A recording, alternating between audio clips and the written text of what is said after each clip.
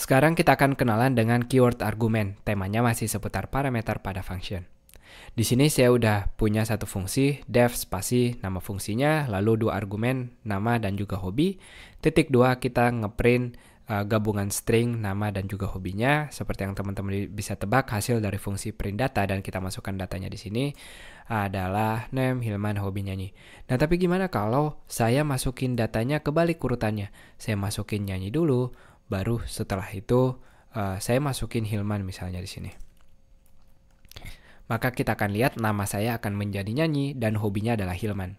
Nah, untuk menghindari hal ini, ketika kita nggak tahu urutan dari parameternya, kita bisa memanfaatkan keyword argumen atau argumen yang kita beri nama, di mana kita ngasih nama ke argumen sebelumnya pada saat kita manggil. Hobinya ini adalah nyanyi dan namanya adalah Hilman. Jadi nggak kebalik seperti ini. Nah, jadi kita pastiin ketika saya panggil sekarang, name-nya udah benar, hobinya benar, walaupun posisi urutan memanggilnya dia terbalik atau berbeda dari sebelumnya.